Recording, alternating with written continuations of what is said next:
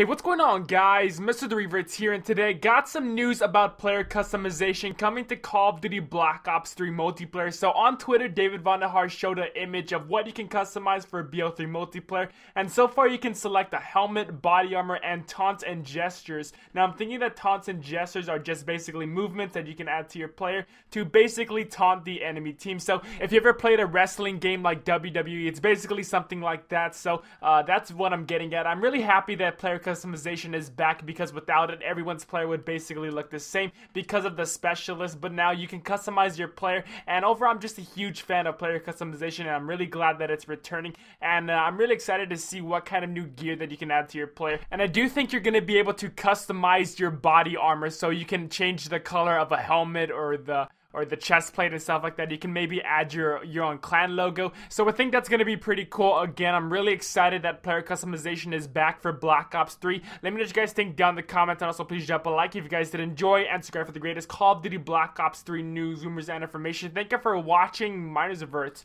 Hope you guys have a great rest of the day. Till next time, I'll catch y'all later.